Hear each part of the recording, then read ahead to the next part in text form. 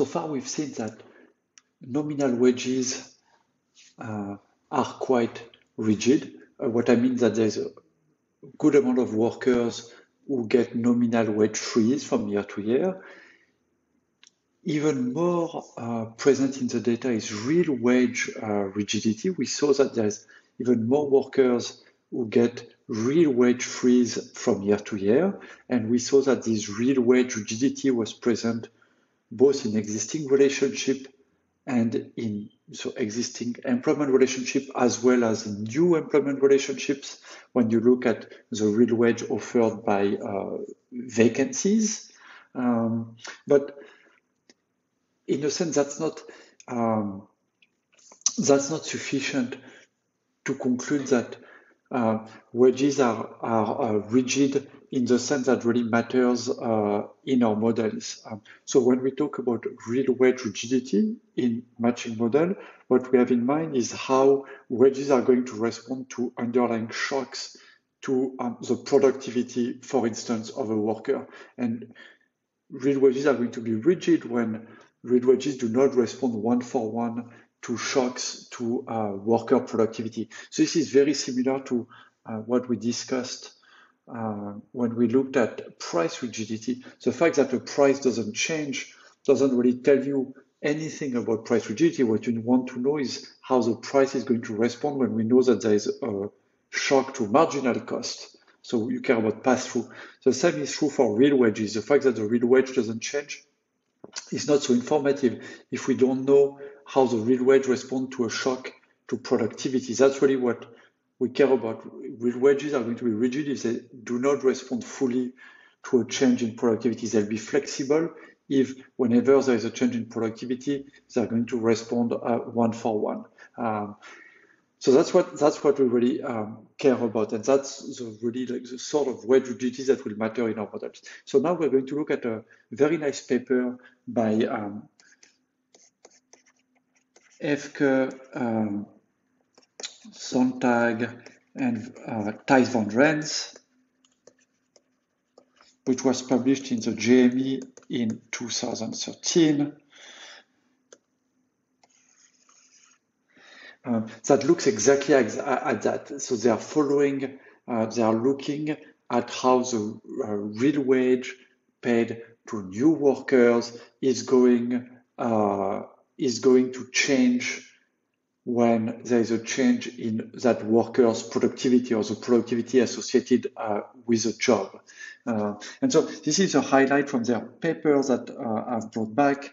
Um, so it's looking at newly hired workers. That's because we know that wages tend to be, you know, uh, quite rigid in existing relationships. So here they are looking at new relationship where we suspect there may be more uh, flexibility. Of course, as we already discussed, what you need to know is to have the full picture is both what happens to new and existing relationship, but actually in this paper, uh, they are going to look at both, which will allow us to have a, complete picture of what happens to real wages in, you know, over the time of the entire uh, relationship. Um, so they find, of course, evidence of long-term wage contracting. That means that in existing relationship, you seem to have very stable wages. Um, they do find that wages of new hire respond to change in productivity. So that means that wages are not real wages are not completely fixed. There is some flexibility, but the question, of course, is how much. And the key result here, uh, the key result here is this: that they find an elasticity of 0.8 uh, to be an appropriate calibration target for search models. So what that means is that the elasticity this is really the key result of real wages uh, with respect to productivity is about 0.8. Um,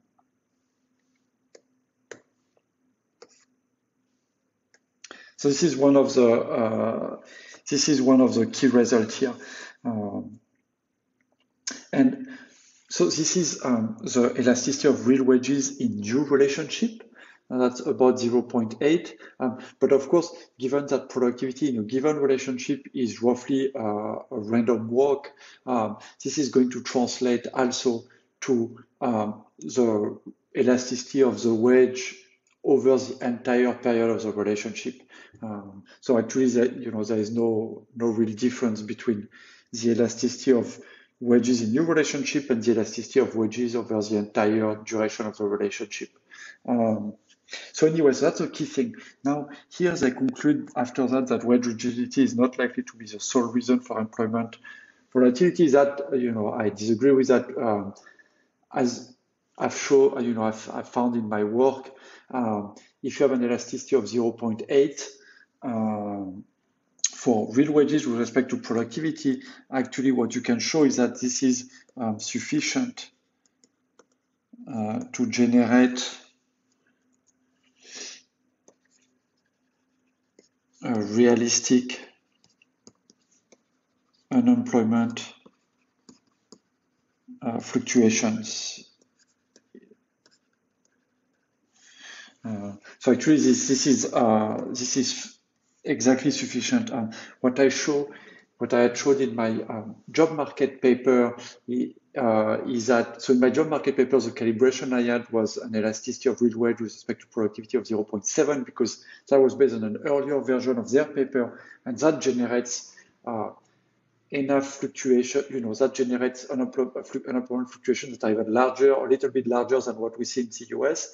If you uh, if you use instead an elasticity of 0.8 instead of 0.7, so a bit more flexibility, you get exactly the type of fluctuation that you see in the US. Uh, so that's what's quite striking that you don't need actually much rigidity to generate large fluctuations in uh, in unemployment. Uh, but anyway, so the bottom line is that you know, in the same way that the pass-through of marginal cost into prices was less than one, which is an evidence of price rigidity. Here, if you want the pass-through of real wages, um, this is basically the pass-through of uh, productivity into real wages.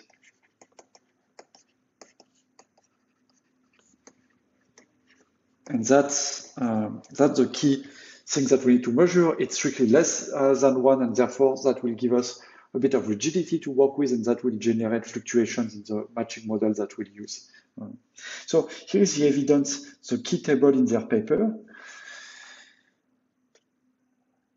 Um, so this is looking at the response of wages to productivity. What's very nice is that it's comparing all workers and new hires so that we can see a little bit because as we said, what matters is really the wage, how wages change over the entire duration of the relationship. So both upon being hired and then as the worker keeps on working with the firm. So you really need to have both pieces of evidence to get the complete picture. Um, and they compare both wage per workers and um, earning per workers. Um, and you know, this is just for completeness, but there's not uh, too much uh, too much difference. So there's wage per hour, the hourly rate, and earnings per person. Um, and so, what are the key results? So you can see, I guess, two things. So first, so the key thing that will be interesting is the elasticity with respect to productivity for the real wage. Um, that's really that's going to be the key parameter in our model. That's the equivalent of, of the pass through that we looked at for prices. So a couple of things that we see. So first of all, you can see that the elasticity for all workers is always less than the elasticity for new hires. That's a, uh, that's kind of a, an interesting result and something that uh, a lot of people anticipated. So here we see more rigidity for uh, basically existing workers, although um, the Hazell evidence we discussed earlier didn't find more rigidity for nominal wages by comparing existing to new relationships. So here we find more rigidities, um, but uh, at least in nominal terms, that wasn't the case uh, in the Hazell papers that we had mentioned. Um, so anyway, it, it, looks like the evidence is a little bit mixed. It's, if anything, wages for existing workers are a bit more rigid, but it's not clear how much more. Um, so we have more rigidity here in any case for existing workers. And then uh, the key piece of evidence, of course, is that all of these things, all of these elasticities that we have here uh, are less than one.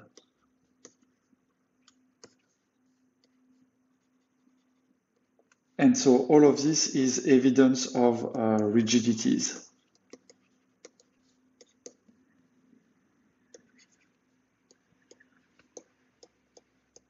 Because an elasticity of just one would be a flexible real wage, but we can see that here, any way you look at it, you have an elasticity that's less than one. And the 0.8 we mentioned earlier, uh, it comes from uh, this and this here.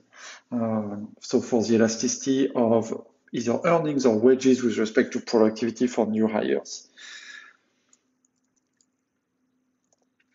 Um, and then, so of course, this is combining looking at new hires, all workers, then the question, as we said, what really matters is really the, how we can, when a worker, uh, when a firm decides to post a vacancy, they know what the productivity is and what they really care about is how they can, how the pay that they'll pay the worker during the entire relationship can be expected to change.